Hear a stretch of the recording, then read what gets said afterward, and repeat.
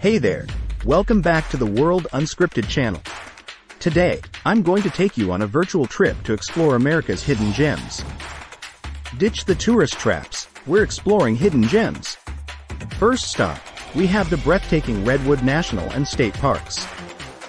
Get ready to feel tiny beneath the immense, magical trees of a fairy tale forest. Take a ride on the Redwood Creek Tram in Redwood National Park. Take a scenic tram loop through the forest's towering trees.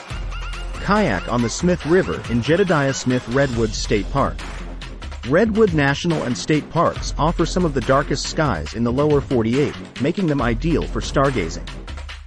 Next on our adventure, we're heading to the enchanting Antelope Canyon in Arizona. Since Antelope Canyon is on Navajo land, the only way to visit is with a guided tour. Prepare to be awestruck by the natural curves of the smooth sandstone walls, but watch your head. To see Antelope Canyon's dramatic light beams, visit midday when the sun shines directly into the upper canyon. Lower Antelope Canyon is worth seeing too, despite Upper Antelope Canyon's fame. Our final hidden gem takes us to the ethereal Dry Tortugas National Park in Florida. Pristine waters, a historic fort, and amazing marine life. Is this a castaway's dream? Fort Jefferson, surrounded by a moat, offers excellent snorkeling within its historic walls. South of the Dry Tortugas, Pulaski Shoals, a barrier reef teeming with marine life.